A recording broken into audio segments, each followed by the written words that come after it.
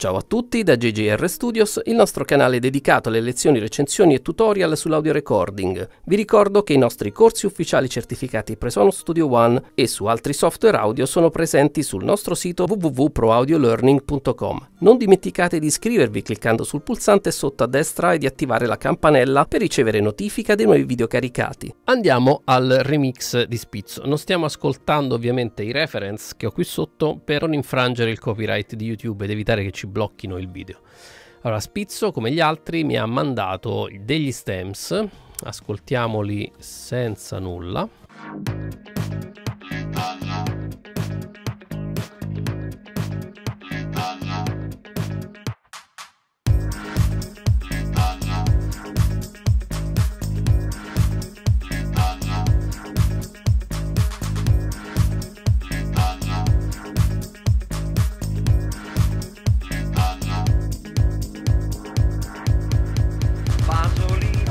In questo caso ho per prima cosa utilizzato il mio, uno dei miei EQ preferiti, forse il migliore, quello che preferisco di più sul master, ed è Erin di Acustica Audio. Sentiamo con essenza.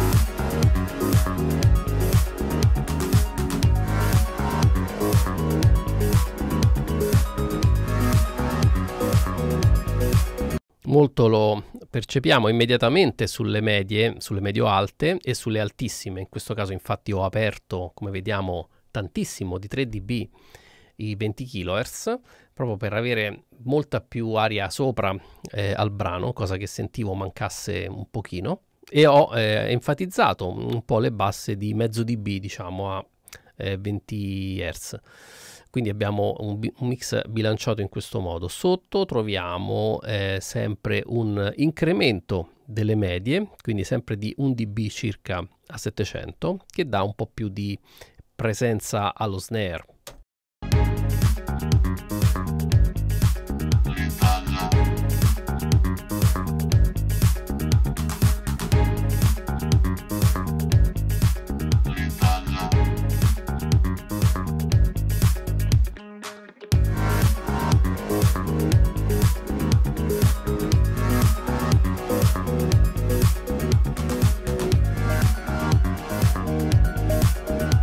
Ovviamente c'è un aumento di volume, ma la presenza che mi dà questo EQ sulle correzioni minime è veramente eccellente.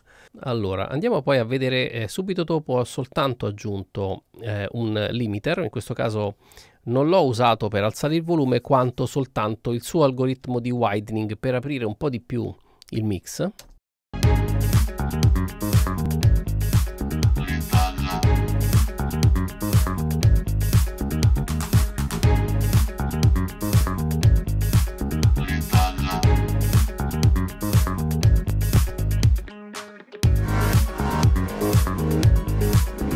Ed infine Fire the Clip per poter dare un po' di punch e distorsione armonica al nostro master.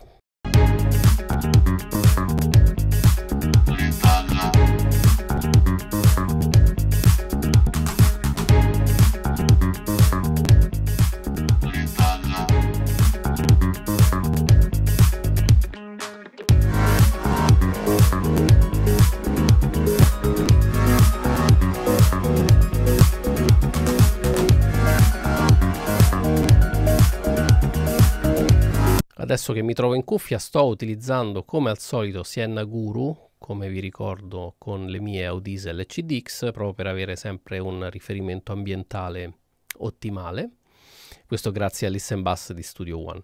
E quindi sempre in relazione a questo mix, come vediamo ho cercato di mantenere l'equilibrio del brano spostando soltanto un po' di più eh, l'aria che si trova nella parte alta del, del brano in sé e poi ovviamente aggiungendo clipping e distorsione eh, per dare un po' più di eh, impatto a livello di, di transiente.